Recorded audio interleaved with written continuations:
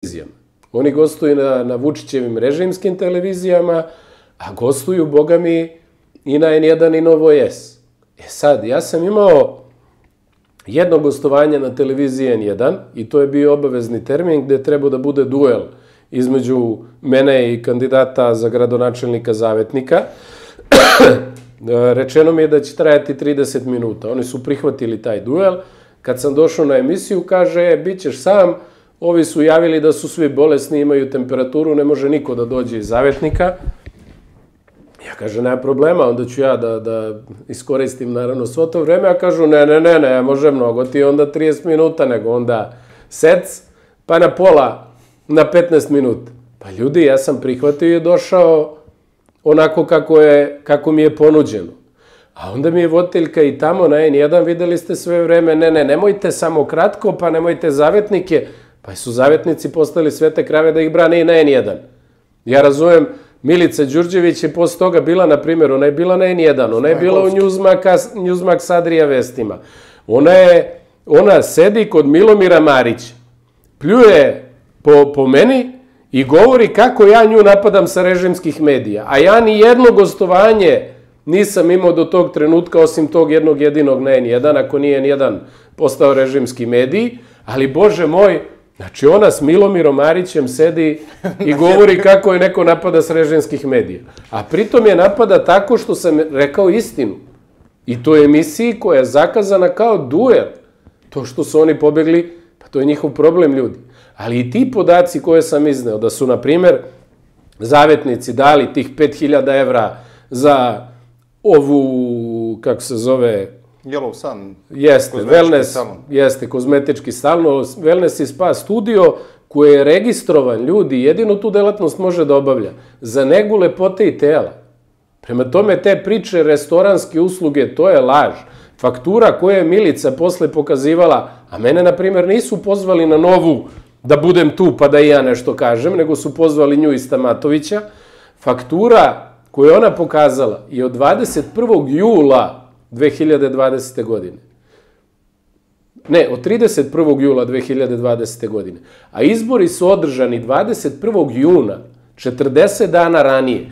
Troškovi oni o kojima sam ja govorio, ljudi, to su troškovi izborne kampanje. Troškovi izborne kampanje se odnose od dana raspisivanja izbora do dana održavanja izbora. Pa ne možete vi posle meseca i po dana navodno da trošite neke pare. Očigledno je da su naknadno nabavljali, ali da su toliko da kažem, tupavi da ni to nisu znali da urade, da urade kako treba. Ono na što ona nije odgovorila.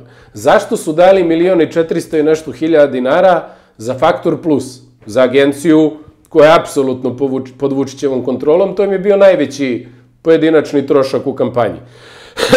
Nisu objasnili zašto je zavetnica za dizajn jednog plakata dala 5000 evra za dizajn jednog plakata, ljudi, ko je lud tu? Za dizajn jednog bilborda, milion i 58 hiljada dinara. Za dizajn jednog bilborda, jedno rešenje. Kao da se razlikuje kad pravite plakat... A koliko to realno košta, po vam? Košta neuporedivo manje. Košta neuporedivo manje. Koja je logika?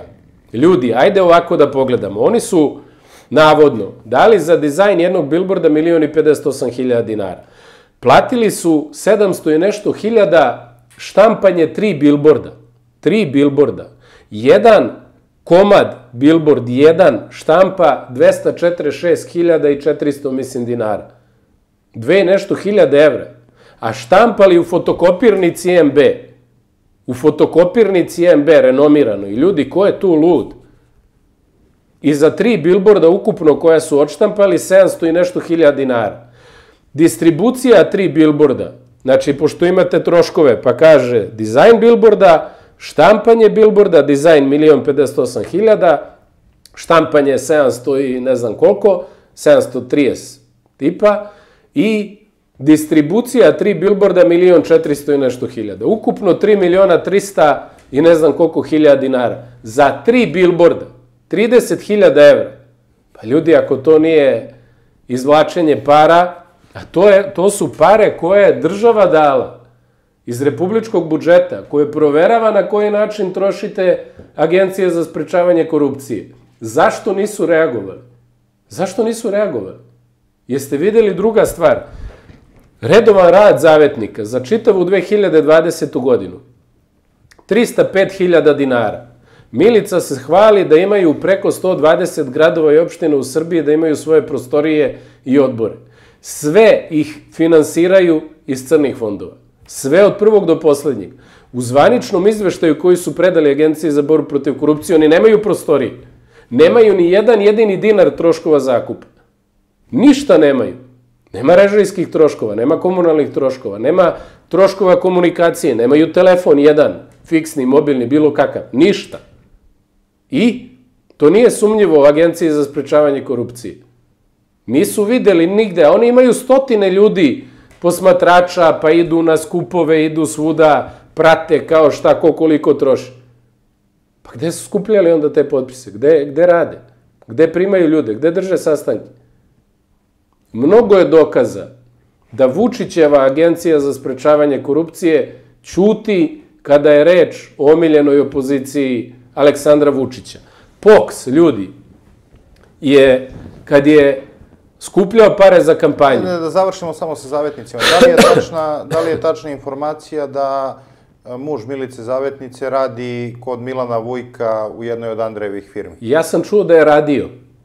Ja sam čuo da je radio, to je nešto što oni treba da objasne, jer Milica tvrdi kako oni žive veoma skromno, kako ona ne radi, a kako njen muž radi.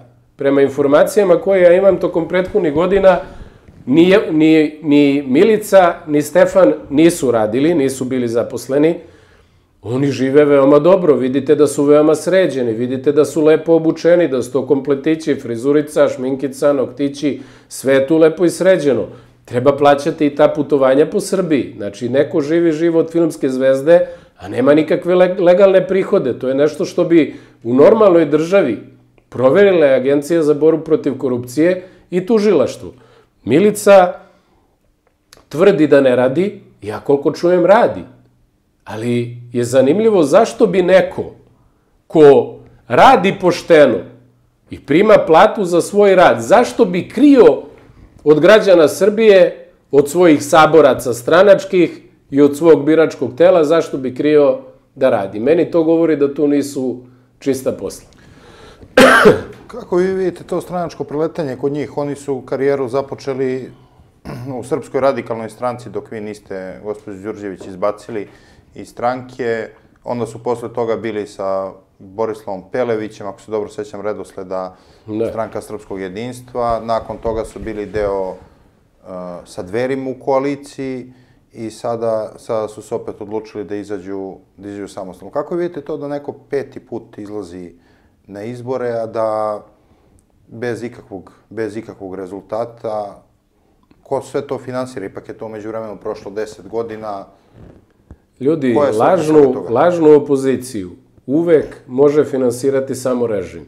Dakle, zar vi mislite da mogu sada da ih finansiraju neke opozicione stranke ili lideri? Pa naravno da ne, ali generalno opozicija nema, pogotovo sad. Čak i ovi koji su nekad bili u Skupštini pa imali prihode iz budžeta. U 2020. godine nemaju nikakve prihode, ljudi. Nema opozicijonih stranaka u Narodnoj skupštini da bi u skladu sa zakonom o finansiranju političkih stranaka dobili neki dinar. Od koga može da se živi? Pogotovo za one koji žive onako veoma, veoma široko. E sad, pitanje je kako neko poput zavetnika može 10 godina da bude na političkoj sceni, da izlazi na izbore, a da nikada ni jedan dinar praktično nisu primili iz budžeta. Jesu na ovim prethodnim izborima primili za kampanju, jer to je bio prvi put da su prešli 1%. Ali sve prethodne kampanje njihove su bile debakle. Nisu ni jednom prešli 1% da bi ostvarili pravo na taj novac koji dobijaju, koji može da se dobije od države. Ali se dobija samo ukoliko pređete 1% na izborima. Pomenuli ste uh, pokret, dosta je bilo, dosta je bilo i, i Sašu Radulovića. Šta, šta vi njima zamerate? Mislim, zato što nije mi jasno zbog čega nisu mogle sve stranke da izađu tu zajedno ako su slične ideološki slične. Ko, Ne znam ko je Šta je sa- tu bilo sporno da te stranke ne mogu da izađu svi zajedno da pređu cenzus? I dveri, i zavetnici, dosta je bilo, oni su zajedno branili Republiku Srpsku sa Aleksandrom Vučićem. Uz vino. Pa jesu. I, i jesu je odbranili. Pa ko oni kažu da je bila voda? Aha, aha. Da, dobro. Sve te stranke, svi ti takozvani lideri političkih stranaka koje su pile vino sa Vučićem i koji su sa njim vodili pregovore o Branili poboljšanju, o poboljšanju izbornih uslova, koji su potpisali sporazum i dali mu unapred legitimitet za sve ovo što sad radi. Setite se, gospodine Stefanoviću, kad je bio aktuelan taj sporazum, pa kad su mi go- razgovarali o tome, pa ja sam to kritikovao i ljudi kažu, evo vidiš, ovaj Šarović svakoga kritikuje. Ljudi, bilo je očigledno da taj sporazum ne valja ništa.